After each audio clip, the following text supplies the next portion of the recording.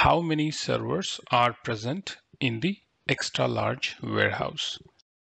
As we've seen in the previous questions, there was a small screenshot which shows the different expandable sizes of warehouses. So again, this question can be within any of these, like what is extra small, extra large, 2x, double x, triple x, or 4 extra large. Uh, so these are the number of servers which you can see. So for this particular question, how many servers are present in the extra large warehouse? It is 16.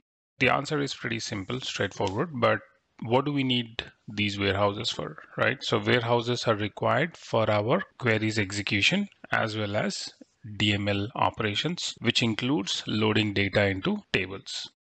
Now, a warehouse which is defined by its size as well as the other properties that can be set to help control and automate the warehouse activity based on the need.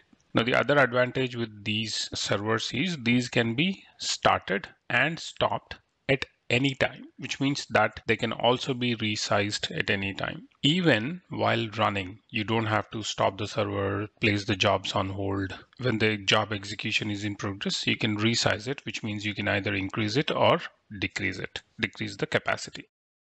Why do you want to do that? To accommodate the need for more or less compute resources based on the type of operations being performed by that particular warehouse at that particular time. So the answer to this is 16 servers are present in the extra large warehouse.